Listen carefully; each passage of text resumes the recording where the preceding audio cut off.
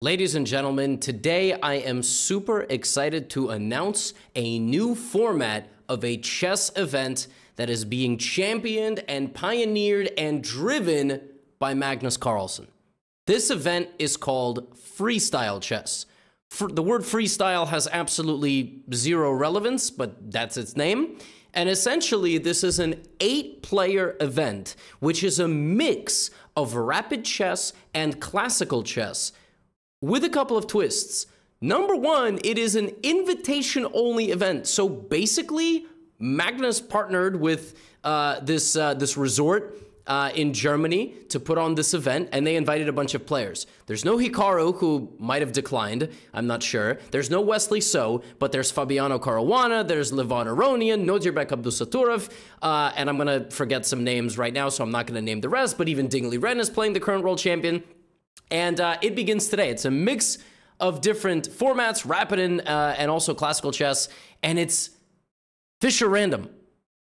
So it's chess 960, meaning the games have no openings. There are no opening repertoires involved, which means the games are absolute madness.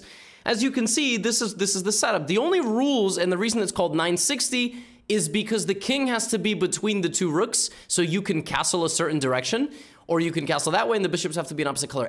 Otherwise, you can shift everything around. So Magnus got his wish. Magnus got a chess tournament with a unique format, a mix of time controls, and a knockout. So they basically tailor-made this tournament around Magnus. Okay, great. So here are the stages. In the first stage, it's a round robin. Everybody plays everybody, and then everybody gets seeded into a knockout. So this is day one, and the very first move of this game is castles. Why? Because this rook is used for castling short, and this rook is used for castling long. Very funny. So that rook would need to be over here to free up the space. Anyway, both sides castle. so Magnus and Firouzja both castle their kings on the first move. And the incredible thing about Fischer Random as they begin this game is like, there's just no openings, right? So you have to open up your diagonals of queen and bishop. We have take, take. They get their knights out. And then they play these like weird pawn moves that sort of block the diagonals away from each other. And, and Magnus plays this very slow maneuvering game. Magnus in general stays away from making too many pawn moves because he doesn't like to make too many weaknesses. Alireza brings his bishops to the to the side of the board to a5 and a6, and then they trade, and Magnus starts doing his usual thing. This kind of looks like a regular game of chess now, except for some reason the queen is here, the knights are sort of squiggly, and if white plays d5, white's going to have dominant control over the light squares. So Alireza plays bishop a6, Magnus advances his pawns, and Alireza tries to fight back. Take, take, knight f5, and slowly Magnus builds up a very, very powerful initiative with this move d5. He's got the same amount of pawns, but he's got a pawn that's three squares away from queening. He's promoted uh, he's made a pass pawn rather, but Alireza sharp with it. Knight to d6. Queen hanging, queen hanging, knight hanging. Take. Rook f1, we trade, and we go to this endgame with knight e7. Passive defense by Alireza. Magnus turning the pressure, applying the... But he doesn't have a way forward, and now we're here. All of a sudden, Alireza is uh, is is is in, in cruise control with the pass pawn. The pawn's marching down the board. Both guys have 30 seconds on the clock in this rapid game, and Alireza glues Magnus's uh, king to the last rank. Look at this position. Magnus can't move. Because if he plays knight e3, king c1, he's completely stuck. The knight has to stay there.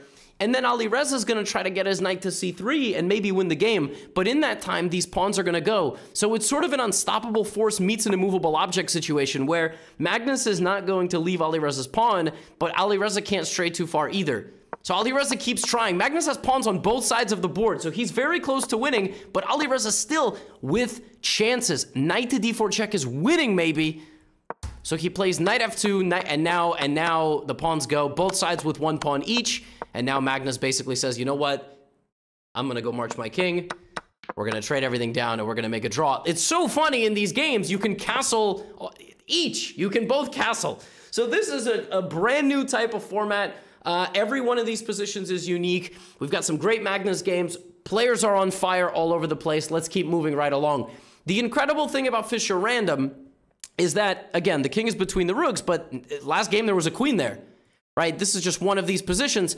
So early on in this game, something completely happened. Uh, something completely insane happened between Levon and Nodirbek. Uh, check this out, y'all. E4, knight d2, and in this position, Nodirbek Abdusattorov sacked his bishop. What? Yeah, because there's no way to guard the king. So Levon goes here. What? He's just, his king is on the edge of the board, but there's no way to mate him. You can play queen h6, and then you can play queen g5, and now the king walks all the way to e2. He goes boop, boop, boop, boop, boop, and now he's safe. But because the king is so weak, Nodirbek just keeps attacking, brings his bishop in, plays rook f7, and black is better. You notice rook g1 was played. If you take my queen, this is mate. If you take my queen, this is literally mate. I mean, chess 960 Fischer random is so goofy. It leads to some completely wild positions, and all opening preparation is at home. Openings don't matter anymore. In many ways, you can even crown the best player in the world like this. Look at this. Bro's king went on a spiritual walk. Knight e7. The bishops come out. It's a completely insane game. Nodirbek is still a piece down, by the way. And, and, and Levon is just trying to trade off some pieces and kind of extinguish the initiative. Look at d5 d5 on the board, just trying to open the board as much as you can because white is sort of stuck. Rook d8, king c2, the king is running around now. Finally, finally white has consolidated and he's doing very well, but he's only got a minute. Queen b7, bishop back to f6. Levon is a piece up, but Nodirbek is not, he's not, he won't stop. He won't stop attacking. He only has one pawn. Nodirbek has six pawns versus five. He's down a full piece and yet his attack is roaring forward, and it actually manages to break through. Queen e7, e3, but wait a minute, but wait a minute, Levon, Levon doing his job. Levon, look at this, queen d3, nice and solid, and then here, Nodirbek uncorks a rook sacrifice. The attack is never over. King to f8. Nodirbek is down a full rook, but knight b4 is on the way with queen e4 coming. But bishop a3, now you can't move the knight there, rook b8. And now if Levon just goes for it. He wins, but he doesn't. He hesitates. He plays defensively. And all of a sudden, Nodirbek is back in the... What is going on? Nodirbek has just three pawns that are going to storm down the board. King e6, king d5. What is... Levon can't move any pieces. Oh my god. Ruchi... Oh my god, Levon's giving up a piece. He's giving up everything. Is Levon losing? I think he might be. But when the dust settles, it's king, rook, and knight versus king and rook and this is just a draw. So they play 40 more moves and then they make a draw. I mean, 100 moves. They played 100 moves. What even was this game? He sacrificed. This is this is what we're talking about. I mean, this is the real stuff right here. This really shows who's got the best nerves and who's the best chess player. Look at this complete madness of a game. This is really what we want, you know, chess on television. Of course, the purists, the traditionalists, they're not going to be happy. They're not going to be happy. This is this is goofy chess. This is circus chess. Uh, but uh, I mean, the games were just absolutely all over the place. I'm gonna I'm gonna keep the starting position here just so you can see. This is a brand new starting position. This is Gukesh versus Magnus Carlsen. This one starts with a bird, f4. For for white to castle, white needs the rook there. So you would need to move the queen and the bishop. And to castle that way, you're gonna need to move all four pieces. So that's the way you would castle. c6, and both guys begin developing their pieces. Okay, now white can't castle that way knight d6. And I mean, there's just no openings, right? There's no openings. Magnus has the sniper bishop. He has a strong structure. And then he starts, look at that g5 move. You can't take with the knight because I would take your rook. If you take with the pawn, that's fine, but I'm going to activate my pieces, right? Magnus plays bishop f7. And then here, you talk about a psychological blow. Boink! This dude is teleporting off the map. And now the king's on the opposite side of the board. Now you're like, oh my god, and let's not forget, white can't castle. White can't castle short. The only way white can castle is long side, which would be queen here. And now white could potentially do this. which is nuts because why would you castle into an attack? So I don't I don't know what Gukesh is going to do. Clearly, Magnus has planned this out very well where Gukesh is either going to have to sit here and get mated or castle and get mated. What is he going to do? He starts fighting back. E5. And then he takes on e6, removing this. plays queen b3, but Magnus is taking over the game. Magnus has clearly understood the position a bit better than Gukesh, and he's got a very powerful position. Knight to c5. Gukesh takes. Here comes Magnus. Knight to d3, takes on b2. Oh my goodness, Gukesh's king being hit around like a pinata. Take, take. e6. But now he's Gukesh somehow back in the game. Somehow Magnus has been pushed back into passivity. 95, and oh my god, look at this! The hero! Gukesh clearly a Gotham subscriber because I always say, when in doubt, run the king to the opposite side of the board. Rook d8 check. He blocks the check with the knight. Oh my god. Magnus is losing control of the game. In fact, Magnus is just worse. Gukesh is threatening knight f6 check, which would pick up the rook. Magnus goes here. Knight e5. Take, take, check. The king just goes right back to the middle. The knight is stuck. The pawns are potentially weak. Rook h6. Magnus still has two minute advantage on the clock. Gukesh is like can be a little bit nervous with low time. He's not a he's not a huge blitz player, but look at this. He consolidates, and there's a pawn in Gukesh's territory that is going to make the difference. And there it goes. And now both guys are at 30 seconds. Gukesh has evened out the time situation. c7, the pawn's a square away from queening. Rook a2. Knight d1. What a move. What a move. Stopping the knight. And if you take, I queen. If you take, I queen. And Gukesh consolidates and swarms the Black King and is up a piece. The most important thing is he's got a pawn remaining because that pawn can become a queen. Magnus fighting back. We're now deep into the uh, 58. We're now deep into the 50 moves. Rook a7 is mate. But if you play bishop b7, I play here, bishop c8, knight c5, and then I'm going to win this bishop, and you will resign. And Gukesh beats Magnus Carlsen in freestyle chess. Oh my goodness. Oh my goodness, we have seen so many positions. We've seen kings over here and queens in the corner. We've seen this position.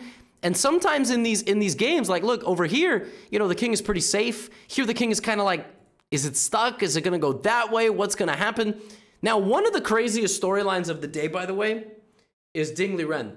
So Ding Liren, uh, by the way, this is uh, I think back to the the Nodirbek game You'll remember it's the exact same position, right? So in that game, you'll remember, uh, maybe you don't, because this is all really confusing. Nodirbek sacrificed the bishop here and brought the king out. This could have happened in this game as well. Ding versus Fabiano. Like right here, uh, Fabi could have played bishop takes pawn. And then it would have been king takes and queen g6 and king f3 and queen g4 and king e3 and queen e4 and king d2. And then you would have taken the knight back. Uh, but that didn't happen. Instead, we got e6. And this game was very balanced. Uh, it was a complex game, and and Ding was down in exchange, but it was it was very complicated, and then it went into an endgame. And Ding had 22 minutes on the clock when he played bishop e5 and hung a bishop. Like, I'm not exaggerating. Ding had a 10 minute time advantage and played this and hung a piece. He was down a pawn, but I mean, Fabiano did not really have anything impressive going on, and you know, bishop c3, bishop b4. Like, yeah, probably black is playing this for some advantage, but there and, and Ding just straight up just blundered. Like, I I don't I don't I, I don't know what to say. Um, and um, that was one of the biggest storylines of the day that Ding played that. Then I have a few more games for you. Uh, Nodirbek versus Ding Liren. You might recognize this position from this game, from the Gukesh Magnus game, where Magnus kind of teleported the king the other way. Nodirbek in this game went for a massive center. And Ding played in a very cagey approach. He played very passively. Queen c2, we had opposite side castling, so you know now we're going to get into a big fight. Also, bishop e6, Ding sacrificed the pawn to create immediate counterplay. Nodirbek took, backed up and said, I mean, I'm up a pawn, right? And then I'm just going to, like, I'm going to trade the pieces down because I'm a pawn up. Knight f4, we have captures uh, on f4, and then we, we get to this endgame. Big simplification. And this is the endgame, and Nodirbek is still up a pawn. So Ding goes here, Nodirbek defends. He starts bringing his king. And now it's basically a question of, can Nodirbek win a pawn up endgame knight versus bishop? King d3. He's not rushing, takes, strong knight, rook f1 defending, and now he's going to advance. And basically what Nodirbek is trying to do is isolate the advantage. The advantage is there. He doesn't have a pawn advantage on the other side of the board, so he's going to try to isolate that advantage, kind of bide his time. Clearly it's equal. Uh, and Ding is doing a great job defending himself. Knight f3, solid, rook h4. Oh, but wait a minute, wait a minute, wait a minute. That's maybe something you wanted to avoid. In endgames, you got to be really careful how you're simplifying. And now Nodirbek might have a pass pawn advantage. And that might win him the game. And there goes his king. And he's dancing and he's looking for a way. And does he have a way or is this just a defensive set? Ah, that doesn't look very good. Here comes Ding though. Here comes Nodirbek. C6. Nodirbek is very close. And he finds a he, he finds an idea here, but there, there's an even more gangster idea. And the gangster idea is knight takes pawn. And the point is that after this, the bishop cannot stop both pawns. The king is behind the pawn, so you you can't take me. It's crazy. He misses that. He goes for this. Take, take here. The knight is coming back. Knight d5, and it stops the. Oh my goodness. And Nodirbek is winning. He's winning king b4, and the pawn is going to go, and it goes, and it goes all the way. And how are you going to win this position? Pretty easy. You just go forward. You allow the queen. It's check, it's check, it's check, it's check, and it's mate. It is mate. Check, check, check, check. And in this position, Ding Liren resigns. Oh my goodness, what an endgame win by Nodirbek. Now, we move right along. Vincent Keymer, who's the Grandmaster. This is the very first position that they played, the very first type of setup. Um, this one, Vincent played a very solid setup. Queen takes d5. Bishop to d3. Ding went for a pin. He had pressure, uh, but he gave up a pawn early. Ding was playing kind of in a very aggressive way, uh, but uh, you'll notice Vincent just has a dead rook. So Fischer Random is super, super clunky and weird.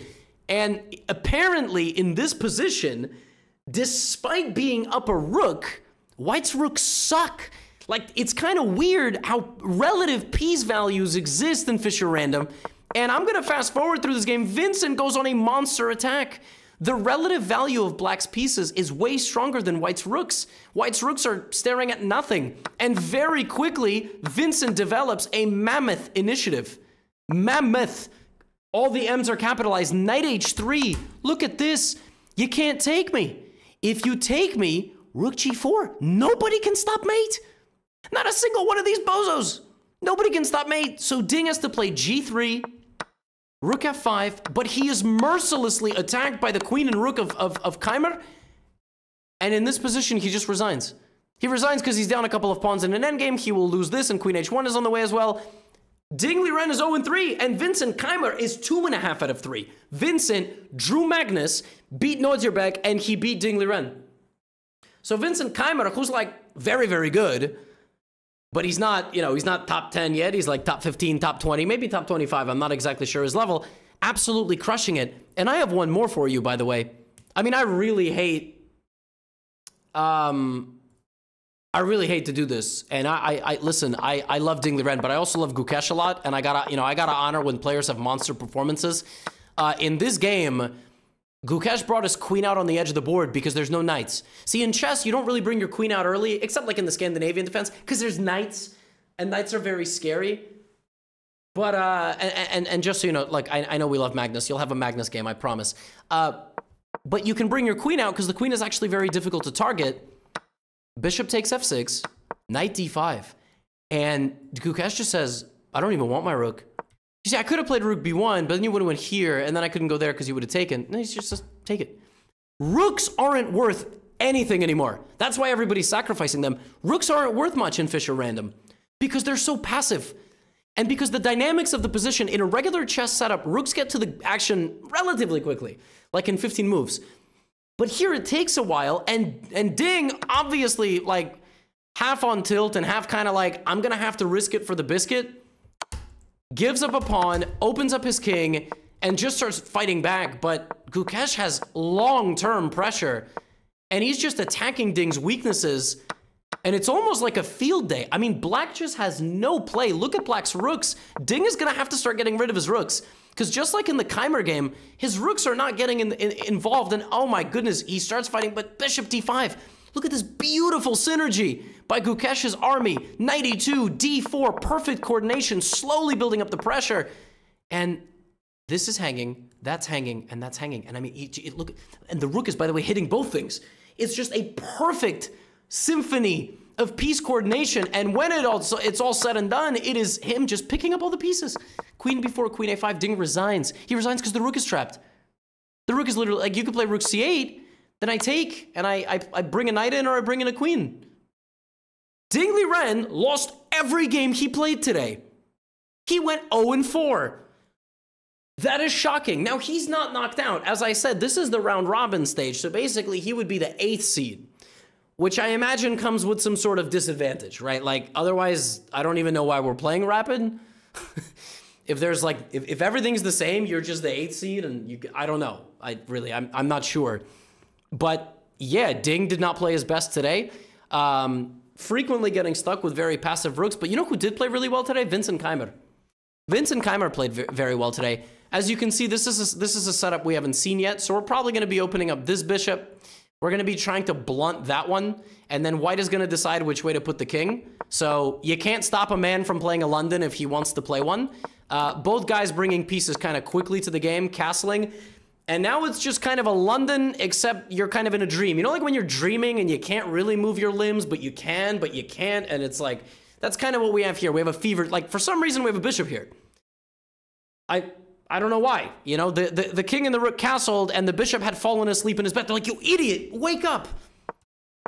Bishop f5, rook d1. And of course, you know, we're going to build up the position very normally, and there's g3. So here comes the bishop. Very locked position. Very locked. Fabi takes on h1 and then plays h6. And Keymer says, wait a minute, what about g4? g4 and f3. Look at that. Control. It's all about control. And the person in a close position that controls pawn breaks has the advantage. If you control the pawn breaks, you have the advantage. Black does not control the pawn breaks. Therefore, he does not have the advantage. Look at that. Knight c5. He's taking a step forward. h4. A lot of space getting taken. Now Fabiano tries to fight back. Take, take. Look at this move. Queen h2. Dear Lord. To bring the rook to pressure the pawn. If the knight moves, you got the sniper bishop. Black is very restricted. He plays take, take, knight d7. Because when you're down space, you want to trade pieces. Fabiano, a very principled man, but Vincent Keymer controls the pawn breaks. Therefore, he has the advantage e4. He's got a lot of space, but it's a it's a game where like it, it feels like if white makes the wrong pawn move, everything will fall apart. The whole sandcastle. Knight e5. Fabiano seals the door. But now look at this. We have a new front of attack. Bishop e3. I'm going to trade your best piece. And now look at rook b2. I'm just going to double up. I'm either doubling on the b file or the d file. You don't know. Rook d8. Oh, no. Psych. I'm going to b7. Rook d7. You can't take me because in Fischer Random, rooks are terrible. Look at that. And believe it or not, according to the computer, the best move is to take. And then to play queen a3 to create counterplay. I don't know how he was supposed to find that. Instead, he went here. And then the space advantage became completely untenable. And now mate is threatened. And unfortunately, Fabiano Caruana resigns as his king is about to get brutalized. Vincent Keymer is winning the tournament. He is winning the tournament after the round robin. Again, that doesn't mean anything because they have to play a whole nother section, but he is destroying people. And Magnus only won one game today. He only won one game. So again, same setup.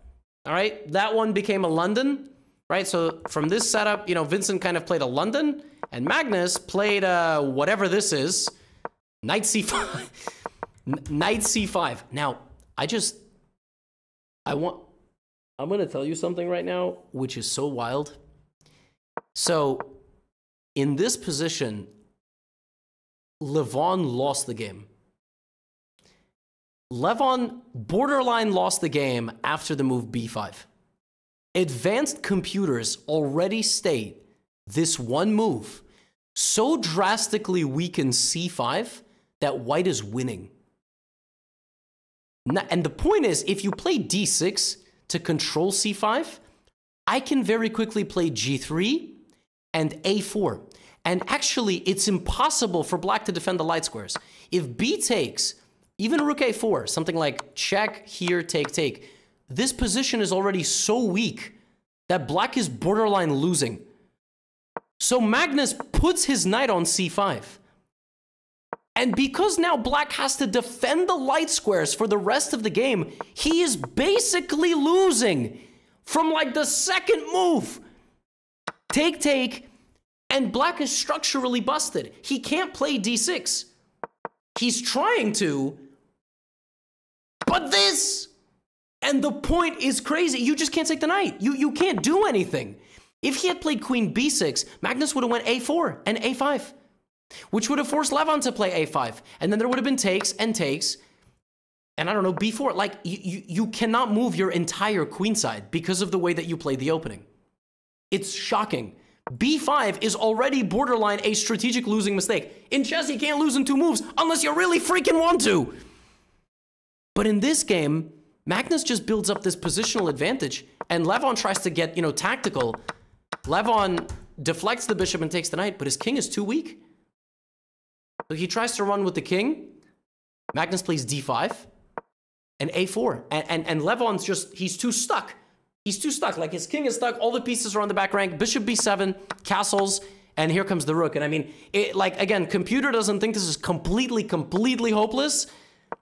But Magnus just won't stop. I mean, for a human being, this is basically hopeless. You can't have four pieces on the back rank while your king is just about to get, you know, massively assaulted.